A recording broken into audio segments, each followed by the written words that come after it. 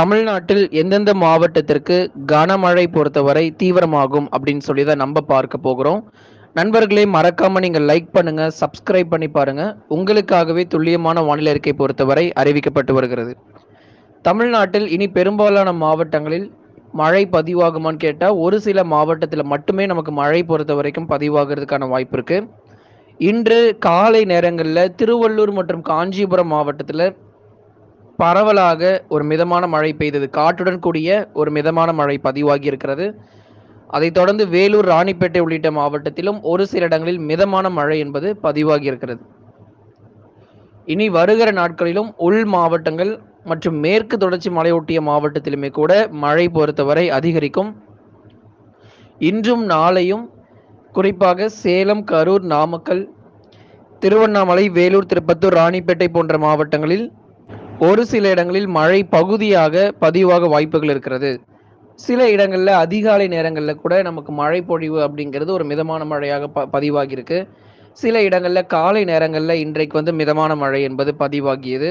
அடுத்தடுத்து வரக்கூடிய நாட்களிலும் எந்தெந்த மாவட்டத்தில் மழை பொழிவுகள் எதிர்பார்க்கலாம் அப்படின்னா சேலம் கரூர் நாமக்கல் திருப்பூர் ஈரோடு கோயம்புத்தூர் நீலகிரி வேலூர் திருப்பத்தூர் ராணிப்பேட்டை திருவள்ளூர் காஞ்சிபுரம் போன்ற மாவட்டங்களில் ஒரு சில இடங்களில் வரக்கூடிய நாட்களிலும் பரவலாக ஒரு மிதமான மழை பொழிவு அப்படிங்கிறது உறுதியாக நமக்கு பதிவாகும். இந்த மழை வாய்ப்பு தென் மாவட்டத்திலும் சில இடங்களில் எதிர்பார்க்கலாம். ராமநாதபுரம் விருதுநகர் போன்ற மாவட்டத்திலும் ஒரு சில இடங்களில் இந்த மழை பொழிவானது பதிவாகும். ஆகவே நமக்கு வந்து உள் மாவட்டங்கள் மேற்கு தொடர்ச்சி மற்றும் தென் மாவட்டத்தில் சில இடங்களில் மட்டும் ஆங்காங்கே விட்டு விட்டு மிதமான மழையாக பதிவாகும். ஆனால் கடலோர மாவட்டங்களான இந்த சென்னை செங்கல்பட்டு கடலூர் விழுப்புரம் புதுச்சேரி காரைக்கால் போன்ற இடங்களில் பொதுவாக வானம் ஓரளவு மேகமூட்டமாகவும் பகல் நேரங்களில் வெயிலுடைய தாக்கம் சற்று அதிகமாகவே காணப்படும். ஆகவே நம்ம கடலோர மாவட்டங்களில் மழையினுடைய தீவிரம் என்பது சற்று குறைவாகவே இருக்கு. அதிகபட்சமாக வானம் மேகமூட்டமாகவும் சில இடங்களில் லேசான மழையும் பெரும்பாலான பகுதிகளில் பகல் நேர வெப்பநிலை என்பது சற்று தீவிரமடைந்து கடலோர பகுதிகளில் காணப்படும். டெல்டாவில் மழையினுடைய வாய்ப்புகள் எப்படி இருக்குது அப்படின்னு சொல்லி நிறைய பேர் கேட்டிருந்தீங்க. டெல்டா மாவட்டங்கள். தஞ்சாவூர் திருவாரூர் நாகப்பட்டினம் அரியலூர் பெரம்பலூர் மயிலாடுதுறை திருச்சிராப்பள்ளி புதுக்கோட்டை உள்ளிட்ட மாவட்டங்கள் முழுவதுமாகவே பகல் நேர வெப்பநிலை என்பது தீவிரம் அடைவதற்கான வாய்ப்பு இருக்குது அநேக இடங்களில் மழை பொழிவுகள் டெல்டாவில் வந்து எதிர்பார்க்க முடியாது. பெரும்பாலும் வான மேகமூட்டங்கள். ஏதேனும் ஒரு சில இடங்களில் ஒரு லேசானது முதல் மிதமான மழையாக வெப்பசலனத்தின் காரணமாக மழை பொழிவு அப்படிங்கிறது நம்ம எதிர்பார்க்கலாம். ஆகவே இடைவிடாது நல்ல ஒரு மழை பொழிவு அப்படிங்கிறது தமிழ்நாட்டில் பதிவாகுமான்னு கேட்டால் சில இடங்களில் மட்டுமே நமக்கு மழையானது இருக்கும். சில இடங்களில் மட்டுமே நமக்கு மழை பொழிவு அப்படிங்கிறது தமிழ்நாட்டில் விட்டு விட்டு பதிவாகிறதுக்கான வாய்ப்புகள் இருக்குது தொடர்ந்து நம்ம பார்த்துட்ருக்கோம் மறக்காமல் நண்பர்களே நீங்கள் லைக் பண்ணி சப்ஸ்கிரைப் பண்ணி பாருங்கள் துல்லியமான வானிலை அறிக்கை உங்களுக்காகவே கொடுக்கப்பட்டு வருகிறது. எல்லா இடங்களுக்குமே மழை இருக்குமான்னு கேட்டால் கண்டிப்பாக கிடையாது. மழை பொறுத்த வரைக்கும் பகுதியாகவே நமக்கு பதிவாகும். பெரும்பாலான மாவட்டங்கள் அதாவது பெரும்பாலான மாவட்டங்களிலும் இந்த மழை பொழிவு இல்லாமல் பகுதியான மழை பொழிவாகவே தமிழ்நாட்டில் பார்க்கப்பட்டு வருகிறது. அதே போல பகல் நேர வெப்பநிலை பொறுத்தவரை மிக தீவிரமாக இருக்கக்கூடிய மாவட்டங்கள் அப்படிங்கிறத நம்ம பார்க்க போகிறோம் சென்னை திருவள்ளூர் காஞ்சிபுரம் செங்கல்பட்டு அதே போல விழுப்ப விழுப்புரம் கடலூர் புதுச்சேரி மற்றும் காரைக்கால் கள்ளக்குறிச்சி உள்ளிட்ட மாவட்டங்களில் கடும் வெப்பம் பதிவாகும். அடுத்து வரக்கூடிய நாட்களில் கடலூர் மாவட்டங்களில் நாற்பது டிகிரி செல்சியஸ் பதிவாக வாய்ப்பு இருக்கு. வரக்கூடிய நாட்களில் கடலூர் திருவள்ளூர் காஞ்சிபுரம் செங்கல்பட்டு போன்ற மாவட்டங்களில் நாற்பது டிகிரி செல்சியஸ் பதிவாகிறதுக்கான வாய்ப்புகள் இருக்கிறது. வேலூர் திருப்பத்தூர் ராணிப்பேட்டை உள்ளிட்ட மாவட்டங்களில் நாற்பத்தி ஓரு டிகிரி செல்சியஸ் வெப்பநிலையானது பதிவாகும். டெல்டா மாவட்டங்களில் முப்பத்தி ஒன்பது முதல் நாற்பது டிகிரி செல்சியஸ் ஆக டெல்டா மாவட்டங்களில் பதிவாகும். தென் மாவட்டங்களில் நாற்பத்தி ஒரு டிகிரி செல்சியஸ் வரை. குறிப்பாக மதுரை திண்டுக்கல் விருதுநகர் சிவகங்கை ராமநாதபுரம் உள்ளிட்ட மாவட்டங்களில் அநேக இடங்களில் நாற்பது டிகிரி செல்சியஸ் வரை வரக்கூடிய நாட்களில் வெயிலுடைய தாக்கமும் ஒரு பக்கம் அதிகமாகவே இருக்கும். மழை வாய்ப்பு அப்படிங்கிறது நமக்கு சற்று குறைவாக இருந்தாலும் வெயிலுடைய தாக்கம் என்பது தமிழ்நாட்டில் மிக தீவிரமாகவே நமக்கு பதிவாகிட்டு இருக்கு. அதனால தொடர்ச்சியான இந்த மழை பொழிவை உறுதியாக எதிர்பாருங்க. விட்டு விட்டு மழை பொழிவு கண்டிப்பாக தமிழ்நாட்டில் இருக்கும். பல மாவட்டங்களில் நமக்கு மழையும் பதிவாயிருக்கு. வரக்கூடிய நாட்களிலும் பல்வேறு பகுதிகளில் மழை தொடர்ந்து நீடிப்பதற்கான வாய்ப்புகளும் இருக்கு. குறிப்பாக இந்த சேலம் மாவட்டங்கள்லாம் சில இடங்களில் மழையும் பதிவாயிருக்கு. அதைத் தொடர்ந்து திருப்பூர் மற்றும் ஈரோடு மாவட்டத்திலும் மழை பகுதியாக ஓரிரு இடங்களில் மிதமான மழையாக எதிர்பார்க்கலாம். தமிழ்நாட்டில் தென்மேற்கு பருவமழை எப்போது தொடங்கும்னு சொல்லி நிறைய பேர் கேட்டிருந்தீங்க.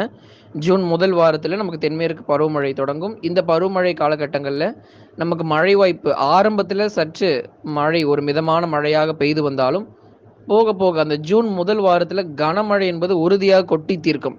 மீண்டுமாக தமிழ்நாட்டில் கனமழை எச்சரிக்கை இருக்குது தமிழ்நாட்டில் மீண்டுமாக கனமழை எச்சரிக்கை உண்டு. ஜூன் முதல் வாரத்தில் பல்வேறு மாவட்டங்களில் கனமழை வெளுத்து வாங்கும். ஜூன் மூன்றாம் தேதியிலிருந்து ஏழாம் தேதி வரை இருக்கக்கூடிய நாட்களில் நமக்கு மழை பொழிவு அப்படிங்கிற தமிழ்நாட்டில் அதிகரிப்பதற்கான வாய்ப்பு இருக்குது ஜூன் மூன்றிலிருந்து ஏழு தேதிகளில் மீண்டுமாக கனமழை என்பது தமிழ்நாட்டில் உறுதியாக நமக்கு கொட்டி தீர்க்கும். ஒரு நான்கு முதல் ஐந்து நாட்களுக்கு ஜூன் முதல் வாரத்திலேயே நமக்கு மழை பொழிவு அப்படிங்கிறது தீவிரமாயிடும். ஏன்னா தென்மேற்கு பருவமழை தொடங்க இருப்பதனால கண்டிப்பாக தமிழ்நாடு முழுவதும் கனமழை வெளுத்து வாங்கும். இப்போது நமக்கு வெயிலுடைய தாக்கம் ரொம்ப அதிகமாக இருந்தாலும் இனி வருகிற நாட்களில் வெயிலுடைய தாக்கம் என்பது ரொம்ப குறைவாகவே பார்க்கப்படும். சில மாவட்டங்களில் கணிசமாக வெப்பநிலை இன்றைக்கு வந்து குறைந்து காணப்பட்டு வருது. இப்போ சென்னை திருவள்ளூர் காஞ்சிபுரத்தில் சற்று கடந்த நாட்களை விட சற்று வெப்பநிலை இன்று குறைந்து காணப்பட்டது. மீண்டுமாக நாளை முதல் வெப்பம் மீண்டும் அதிகரிக்கும். சென்னை திருவள்ளூர் காஞ்சிபுரத்தில் மீண்டுமாக வெப்பம் என்பது நாளை முதல் அதிகரிக்கும். தொடர்ந்து வெயிலுடைய தாக்கம் இந்த வாரங்களில் இருந்தாலும் அடுத்து வரக்கூடிய ஜூன் முதல் வாரங்களில் நமக்கு வந்து நல்ல ஒரு வானிலை சூழ்நிலை காணப்பட்டு வருகிறது. ஒரு குளிர்ச்சியான ஒரு சூழ்நிலை ஜூன் முதல் வாரத்தில் தமிழ்நாட்டில் கண்டிப்பாக நம்ம எதிர்பார்க்கலாம். மறக்காமல் லைக் பண்ணி சப்ஸ்கிரைப் பண்ணி பாருங்கள் உங்களுக்காகவே துல்லியமான வானிலை இருக்கே அப்படிங்கிறது அறிவிக்கப்பட்டு வருது. அடுத்தபடியாக தமிழ்நாட்டில் புயலுக்கான வாய்ப்புகள் நிறைய பேர் கேட்டிருந்தீங்க. மீண்டும் ஒரு புயல் உருவாகுமா? அது தமிழ்நாட்டை கரையை கடக்குமா? அப்படின்னு சொல்லி கேட்டிருந்தாங்க. அதற்கான வாய்ப்பு கிடையாது. தமிழ்நாட்டில் தற்போது வரைக்கும் எந்த ஒரு புயலும் கரையை கடப்பதற்கான வாய்ப்பு இல்லை. மழை மட்டுமே அவ்வப்போது ஒரு லேசான மழை மிதமான மழை வெப்பசலனத்தின் காரணமாகவே மழையானது பதிவாகும். தொடர்ந்து தமிழ்நாட்டில் வெப்பநிலை என்பது உச்சம் தொட்டு வந்தாலும் மழையினுடைய தீவிரம் என்பதும் கண்டிப்பாகவே இருக்கக்கூடும். ஆகவே மழை வாய்ப்புகள் மழையினுடைய தீவிரம் என்பது எல்லாமே உங்களுக்கு வந்து ஒவ்வொரு நாளுமே நம்ம துல்லியமாக நம்ம சொல்லிக்கிட்டு இருக்கோம். எந்தெந்த நாட்களில் மழை இருக்கும் எப்போல்லாம் நமக்கு மழை பெய்ய போவதில்லை அப்படின்னு சொல்லிட்டு. கண்டிப்பாக இந்த மே இறுதியில் கனமழை உண்டு. அதில் எந்த மாற்றமே கிடையாது.